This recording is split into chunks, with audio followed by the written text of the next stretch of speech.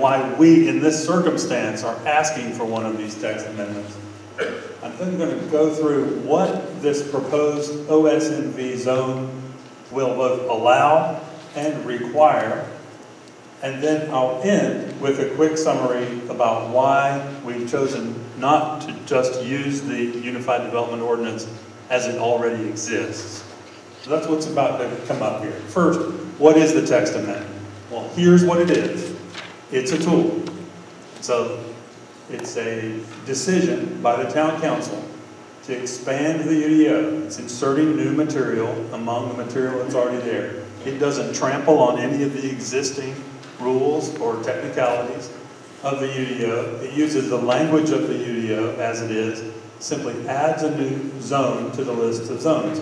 Every zone, every land in the town that's privately developed belongs to some zone or another on the big zoning map. This would create a new one we call OSMV. The purpose is to enable a walkable village pattern that lets us get at really big scale open space, the preservation of the vistas, and a variety of housing choices, as Tom alluded to, in a manner that fulfills the comprehensive plan. And then we subject ourselves to extra requirements, the required form-based code and a development agreement. Now, what is the text amendment not? It is not a rezoning. The action the town council is being asked to consider first just simply creates the zone. It does not map it to any land in the town. We expect to come back and do that as a subsequent step. But this simply creates the ability to propose the rezoning along with that customized form-based code and development agreement. Now, this is uh, not our idea. This is an idea that was anticipated by the framers of the Unified Development Ordinance. Right, this is a screenshot from the ordinance itself. And right there in the ordinance it says that from time to time we expect it will be necessary to amend that document. And it specifies the procedure. And it specifies who is eligible to initiate this. And the list of people that are eligible include an owner of land in the town, like Mr. Couch. And then it goes on to describe a set of factors that should be weighed in considering a text amendment. These are the, and there's a list of them there. You can see this is in Article 3, Part D, subsection 3, under text amendments. And you can read the list. There's seven things to consider, and all of those are addressed by our application. Now, why are we proposing to do this in this circumstance? First of all, for those who don't know it, there is a group of lands controlled by Mr. Couch and his companies that he has included within our plan, 973 acres. And on those lands, we propose to create a family of compact, complete, connected villages set within a deeply green preserve of field and forest. And in the process of building part to save the rest, protecting a vast network of open spaces and long vistas. There are many ideas in a plan this big. Now, I'm going to hit on just a few of them to explain why they affect the UDO. But I won't go into detail on all of them. We will, however, post this on the website. The biggest of these big ideas is the preservation of the vast green network. It's a large proposal, a large application, a big map, but its bigness is the key to its potential benefit. Because when we draw on a canvas this large, we can make connected open spaces that are larger and more continuous and more environmentally and ecologically effective than would otherwise be the case from piecemeal low-density development, one smaller piece at a time. That means that when we create a, a flyway for birds and pollinators, it can be large and connected and effective. When we create a flowway for water quality, it is connected. When we address the seasonally affected lands that affect wildlife, the effectiveness of this is so much greater when we have the potential to draw on the larger canvas. And that is why we come to you with such a large amount of land to be considered at once. Other key ideas include holding on to the food culture, the making of food, the farm to table tradition in Summerfield. Another key idea is that the public spaces come first.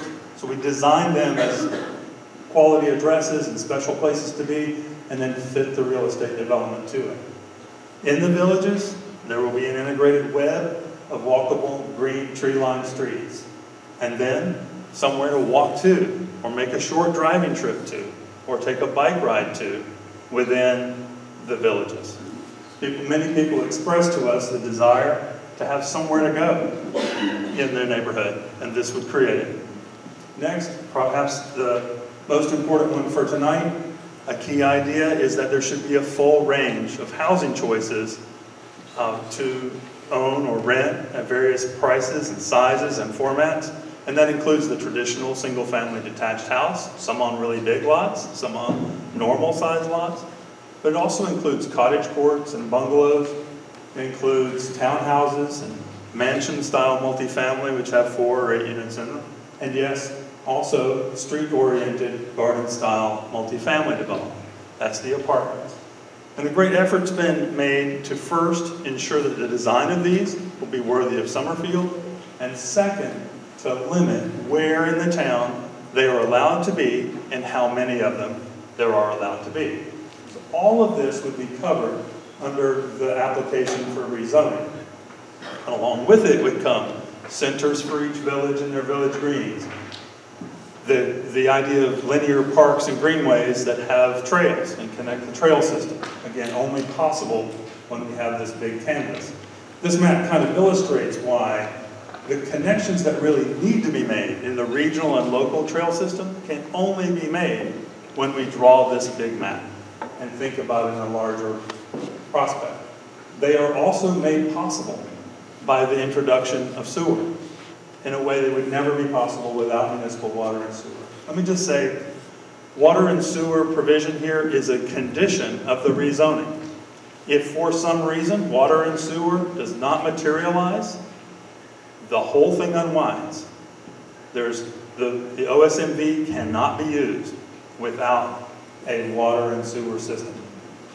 The last of the big ideas is that there would be a whole suite of strict quality controls, architectural standards, building standards, landscape standards, street standards, so that the place that's built looks like the drawings.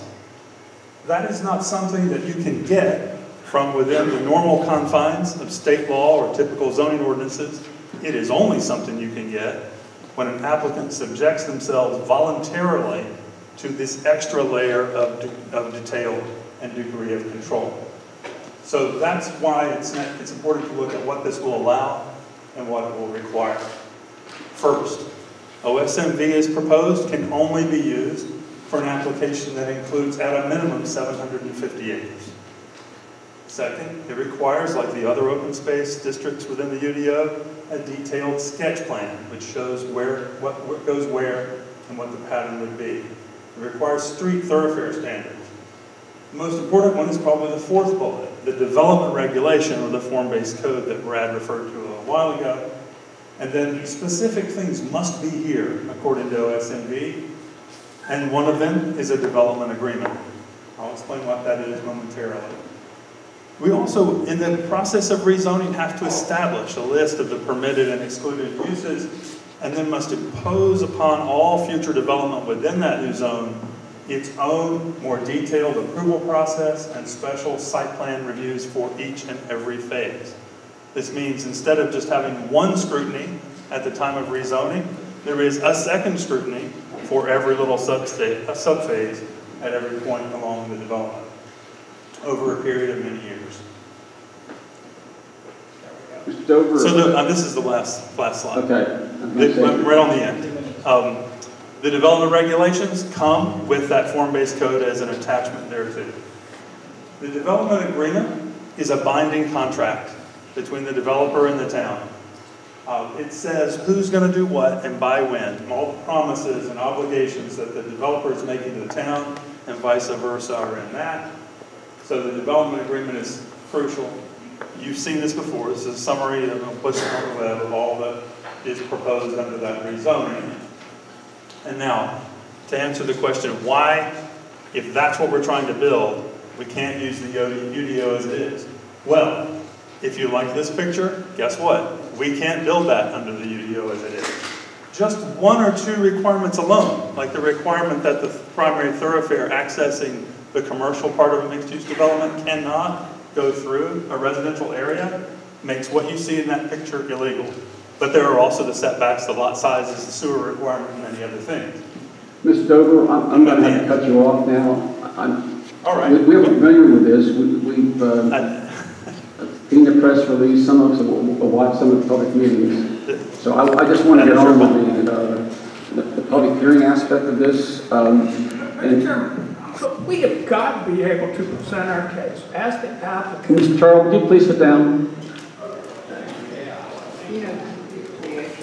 I'd be happy to answer questions as we get along. Yeah, I- we, we'll come back and ask you questions, Mr. Charles. I have over, over fifty people that want to speak, and I want to give them a chance to speak. Well, The but purpose They have not heard the presentation, they don't. Uh, They, they're not the ones that have to hear the presentation. The board is the one who has to make the decision. They're here to vo- voice their comments, for and against.